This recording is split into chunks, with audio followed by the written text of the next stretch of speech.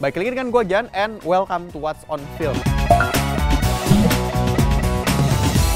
Netflix trigger warning Jessica Alba dengan sutradara Marlina Molly Surya.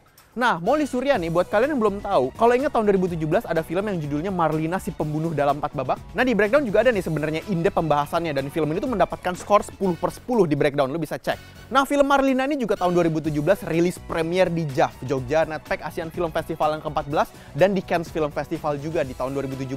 Terus tahun depannya, 2018, film Marlina juga dapat 10 piala citra dan salah satunya film panjang terbaik. Nah, semenjak itu memang nih Molly Surya tahun 2019 bikin filmnya adalah film pendek yaitu Something Old, New, Borrow, and Blue.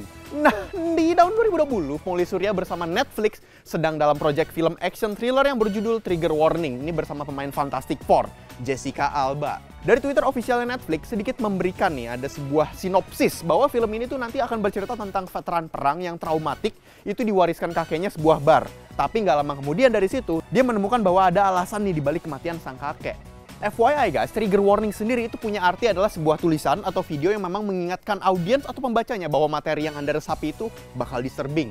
Mungkin ini juga sebagai tis kali ya bahwa filmnya nanti bakal agak gory dan cukup berkonten dewasa nih. Mengingatkan dalam garapannya Marlina pun kan Molly Surya bikinnya eksplisit banget.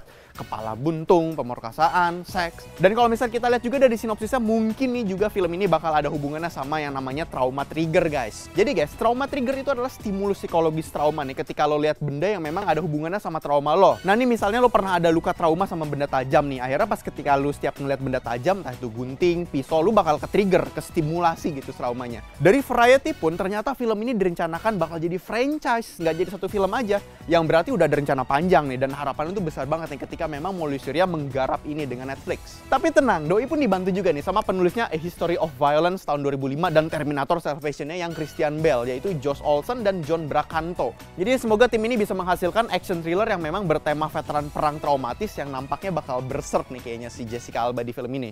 Nah dalam film Trigger Warning pun nanti Jessica Alba selain menjadi aktris, dirinya juga ternyata jadi eksekutif produsernya. Yang to be memang bakal dijadikan franchise. Tapi menurut kalian gimana nih? Gue pengen tahu nih kira-kira apa yang harus dihindari sama Molly Surya ketika memang menggarap film dengan premis seperti Trigger Warning. Ayo kita diskusi di kolom komentar bawah. Kalau misalnya kalian suka dengan seputar film dan game, lu bisa cek ke website kita kincir.com karena di situ pembahasan soal film dan game lu bisa langsung cek ke dalam websitenya. Oke cukup sekian untuk What's Film kali ini. Sampai jumpa di What's On berikutnya.